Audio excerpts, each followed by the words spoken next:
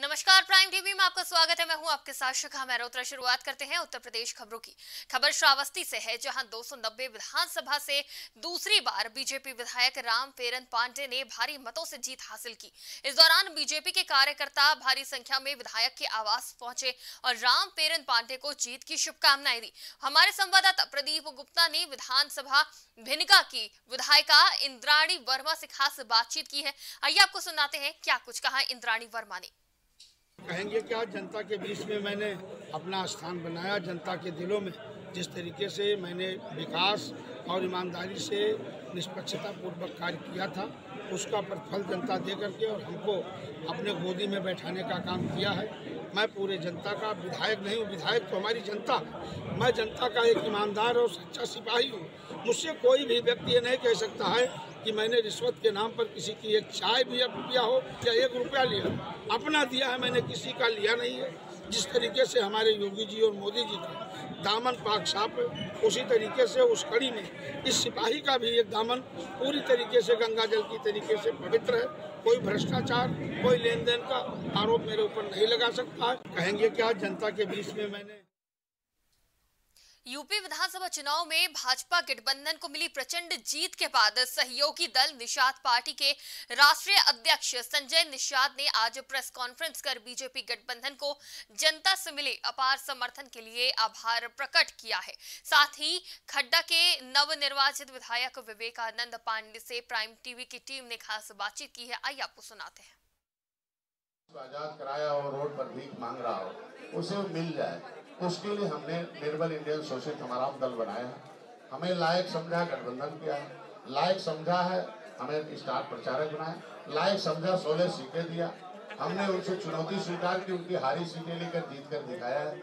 अगर मैंने उनको एक सौ सत्ताईस सीटों पर कंपेनिंग करके हंड्रेड परसेंट स्ट्राइक रेट दिया है तो बड़े भाई हैं वो। निश्चित रूप से राम ने निषाद राज को गले लगाया। तो दुनिया में शांति आई थी। विजय प्राप्त हुआ, रावण का राज खत्म हुआ था। राम राज आया था। तो भारतीय जनता पार्टी बड़ा भाई, मोदी जी ने हमें गले लगाया, माननीय योगी जी ने गले लगाया। तो निश्चित रूप से छोटे भाई को सम्मान देंगे। उत्तर प्रदेश समेत पाँच राज्यों में विधानसभा के चुनाव खत्म हो चुके हैं। वहीं भाजपा पूर्व बहुमत के साथ चार राज्यों में सरकार बनाते हुए दिख रही है। वहीं अगर उत्तर प्रदेश की बात करें तो भाजपा की गठबंधन के हिस्सा रही निषाद पार्टी से खड्डा के नवनिर्वाचित विधायक विवेकानंद पांडे जी हमारे साथ हैं। सबसे पहले आपका प्राइम टीवी में बहुत बहुत स्वागत और आपको बहुत बहुत हार्दिक बधाई कि आप इस बार विधायक बन के आए हैं खड्डा से। क्या संदेश देंगे खड्डा की जनता को? खड्डा का जनता को संदेश, खड्डा की जनता का आशीर्वाद मुझे प्राप्त हुआ है और जिस उम्मीद और विश्वास के साथ पार्टी ने मुझे भरोसा करके उम्मीदवार बनाया गठबंधन का और जिस भरोसा के साथ खड्डा विधानसभा की जनता ने मुझे अपार आशीर्वाद दिया। लगभग इकतालीस हज़ार पाँच सौ कुछ वोटों से मैं विजय श्री प्राप्त किया। निश्चित रूप से नवास, नब्बे हज़ार के आंकड़े को मैं पास पहुँचा हूँ जीतने वोट का। जो आशीर्वाद मुझे मिला, उस आशीर्वाद को मैं एक एक आशीर्वाद जो मैं खड्डा विधानसभा की जनता दी है, मैं उस आशीर्वाद को और ये मानकर और अपना विधायकी उनके चरणों में समर्पित किया हूँ। और निश्चित रूप से खड्डा विधानसभा की जनता की सेवा ही हमारी पहली प्राथमिकता होगी। और यही मेरा संदेश है कि जिस प्रकार खड्डा विधानसभा की जनता मुझे अपार आशीर्वाद दिया है, उसी प्रकार खड्डा विधानसभा की हर एक व्यक्ति के लिए मैं खड़ा मिलूँगा। पहले बेटा बन के मैं पहले चुनाव में लड़ा तो बेटा और भाई बन के लड़ा और बेटा भाई के रूप में रहूँगा।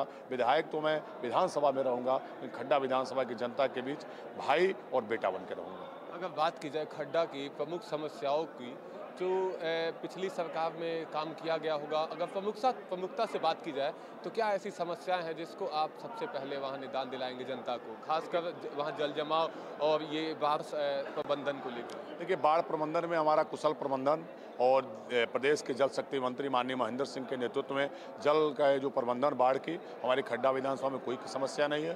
निश्चित उस समय से पहले बाढ़ से पूर्व ही बंदों की मरम्मत, बंदों पे जो भी वर्क होते हैं, एक छोटी सी वहाँ समस्या आई है बंधक में एक नौतार बाँध पे एक छोटी कैनाल बनाने की बात है, पुल बनाने की आई बात है, जो कि आज ही सुबह माननीय मंत्री जी से हमारी बात हुई है, मुलाकात हुई और चुनाव उदाहरण भी वार्ता हुई थी।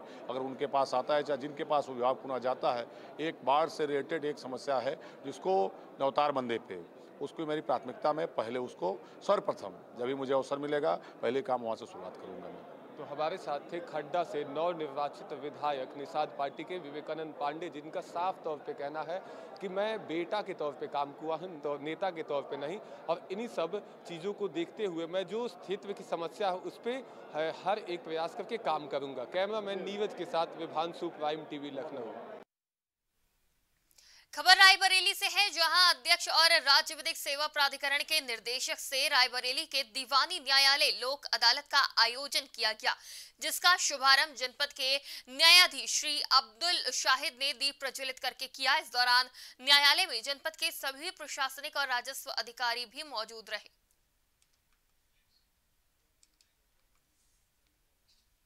गाजियाबाद के मुरादनगर थाना इलाके में एक समुदाय विशेष के खिलाफ आपत्तिजनक बयान देने का वीडियो सोशल मीडिया पर वायरल हो रहा है। वहीं गाजियाबाद पुलिस ने वायरल वीडियो का संज्ञान लेते हुए हिंदू युवा वाहिनी के जिला अध्यक्ष आयुष त्यागी काकड़ा से काकड़ा के खिलाफ मुकदमा दर्ज कर लिया गया है। आईटी एक्ट और अन्य गंभीर धाराओं में मुकदमा दर्ज किया गया है। पुलिस को एक वायरल वीडियो प्राप्त हुआ था, जिसमें हिंदू युवा वाहिनी गाजियाबाद के जिला अध्यक्ष आयुष त्यागी का ये वीडियो था, जिसमें वो एक धर्म विशेष पर टिप्पणी कर रहे थे और एक उकसाने वाली बातें कर रहे थे। इसके बाद पुलिस की तरफ़ से स्वतः संज्ञान लेते हुए एक मुकदमा थाना मुरादनगर पे आवश्यक धाराओं में पंजीकृत करा दिया गया है और इसमें अग्रिम वैधानिक कार्रवाई प्रचलित है। और इस तरह की जो भी बातें हैं, सौहार्द बिगाड़ने जो भी चीज़ें हैं, वो बर्दाश्त नहीं की जाएँगी और उन पर लगातार सख्त से सख्त और आवश्यक कार्रवाई की जाएगी खबर मथुरा से है जहाँ प्राइवेट वाहन से फर्नीचर ले जाते वक्त हाईटेंशन लाइट की चपेट में चार मासूम आ गए। वहीं आनंद फानन में चारों को अस्पताल पहुँचाया गया। वहीं एक की हालत गंभीर बताई जा रही है। आगरा रेफर कर दिया गया है उसे और बता दें कि जिला प्राथमिक संघ के अध्यक्ष राजेश कुमार ने बताया कि गाड़ी वाले की लापरवाही से यह हादसा हुआ है। ये स्कूल प्राइमरी हो उसकी ब्रांच आई थी गाड़ी भर के। जी। तो तीन सौ मीटर पहले ही गाड़ी रास्ता में बंद हो गई थी। ये बच्चा खेल रहा था वहाँ पर। हाँ। तो आए बोले कि मेरी गाड़ी में धक्का लगा दो। तो ये बच्चा धक्का लगाने लगा। हाँ। और तीन बच्चे और हैं इसके हाँ। साथ। और चार छह थे पर वो तो एकदम हट गई करंट आते ही। ये चुपक गई। अच्छा। ग्यारह हज़ार की लाइन जैसे गाड़ी गई पूरी गाड़ी करंट आ गई। ये लड़का धक्का लगा आगे बोनट पर ये चुपका का ही चुपका रहे कितने लोगों को है? जी? कितने बच्चों का है? ये चार बच्चों की हालत खराब है। ठीक है।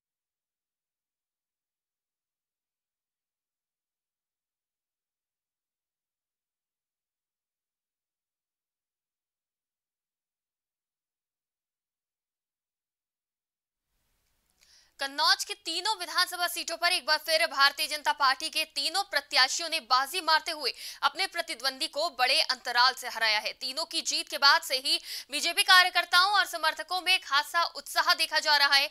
सभी ने एक दूसरे को मिठाई खिलाकर बधाई दी। वहीं प्रधान प्रतिनिधि दिलीप कश्यप ने अपनी पूरी ग्राम पंचायत में लड्डू बांटकर खुशियाँ मनाई। इस दौरान अजय पाल कश्यप, चंदगी राम रजनीश दाताराम पवन कुमार जितेंद्र अवनीश पाल रामपाल कठेरिया समेत कई लोग मौजूद रहे।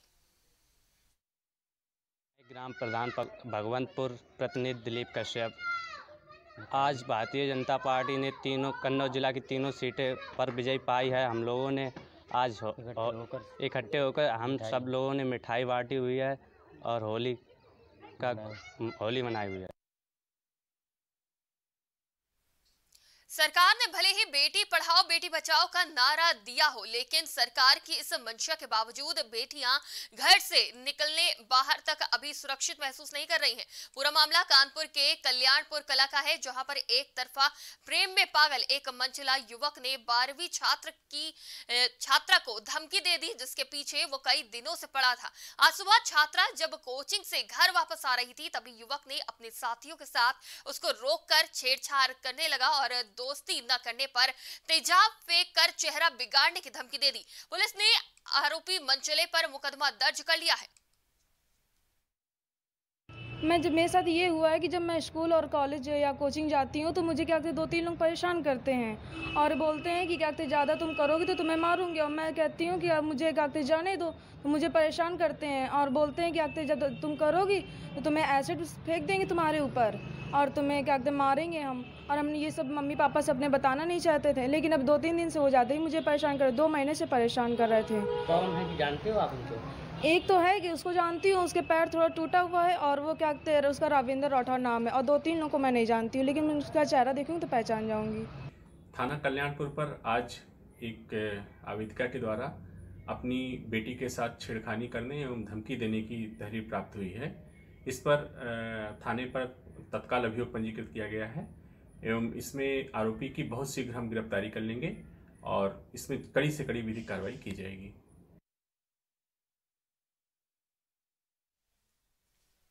मथुरा में लठमार, होली बड़े ही उत्साह और उमंग के साथ खेली गई। वहीं गोपियों ने नंदगांव के कृष्ण रूपी हुरियारों पर जमकर लाठियाँ बरसाई। बता दे, अबीर गुलाल और लाठियों से खेली गई होली का आनंद देश विदेश से कोने कोने से आए श्रद्धालुओं ने जमकर मज़ा लिया।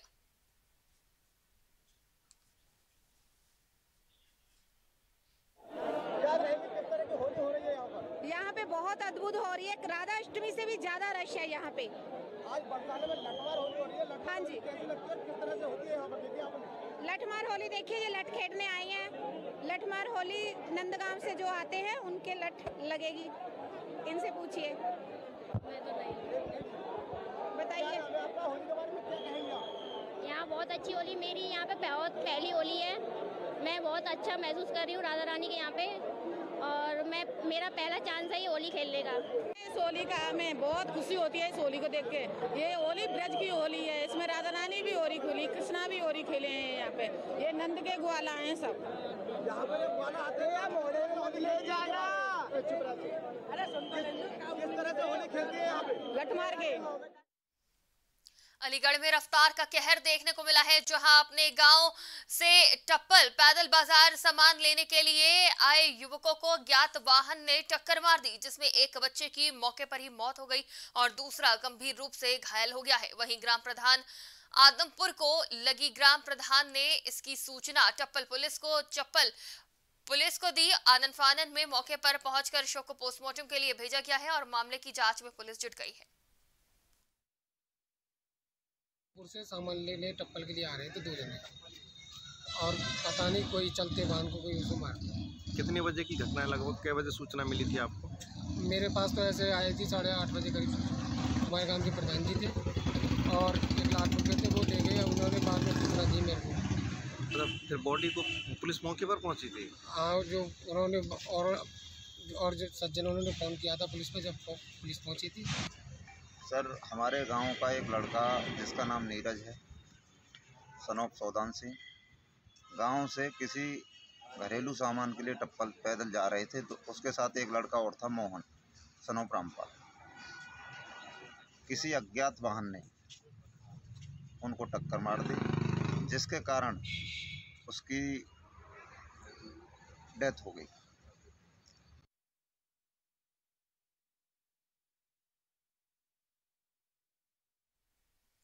खबर औरैया से है, जहाँ नर्सों ने प्रसव के बाद नवजात की पिटाई की, जिससे नवजात की मौत हो गई। नवजात के माता पिता ने पुलिस को सूचना देते हुए अस्पताल प्रशासन पर गंभीर आरोप लगाए हैं। वहीं सीएमओ अर्चना श्रीवास्तव ने दोषी अस्पताल वालों के खिलाफ जाँच के आदेश दिए और दोषियों के खिलाफ सख्त कार्रवाई की बात कही है। नाम आपका? कहाँ के रहने वाले यहाँ पे? हम निरोतम अच्छा आप यहाँ प्राइवेट अस्पताल में क्या हुआ? हम सरकारी अस्पताल में भाई थे यहाँ पे बुलाई ले आएँगे थे यहाँ का। आशा ले हाँ। क्या नाम है आशा का? आशा को जे लेला बताई दो अच्छा फिर यहाँ क्या हुआ? यहाँ का बच्चा भाव पैदा।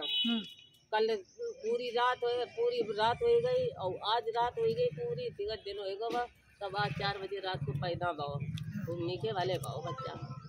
बच्चा तो बच्चा तुम मारो जात में का मारो जात है जात हो रहा है कि तुम आई थी लो दे छरी में के कस जो ना। किसने मारा? बिटिन ने मारो जो नरते हैं तो। बच्चे को मारा? हाँ। अभी अभी मेरी जानकारी में आया तो है कि ये सात महीने का बच्चा था जिसकी वहाँ पे मृत्यु हुई है। और अभी मैं जाँच करा रही हूँ और अगर आशा ले गई है उसकी भी जाँच कर करा कराऊँगी कि यहाँ से आशा अगर ले गई तो कार्रवाई की जाएगी। क्या डिलीवरी की स्थिति में थी मैं हाँ। लेबर पेंस में थी सात महीने का था बच्चा खतरा होता है सात महीने के बच्चे। ये मैम ये अस्पताल चल रहा है रजिस्ट्रेशन है इसका अब है ये ये अस्पताल चल रहा है? रजिस्टर्ड है। लेकिन सिजेरियन की परमिशन नहीं है। अच्छा अच्छा।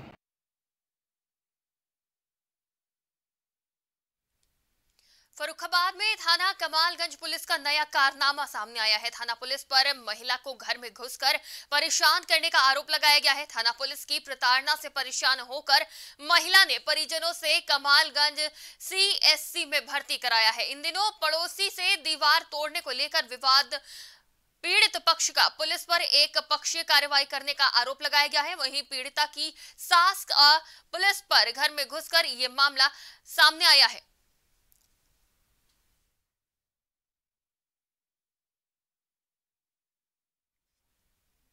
उत्तर प्रदेश की खबरों में फ़िलहाल इतना ही। तमाम खबरों के लिए देखते रहिए प्राइम टीवी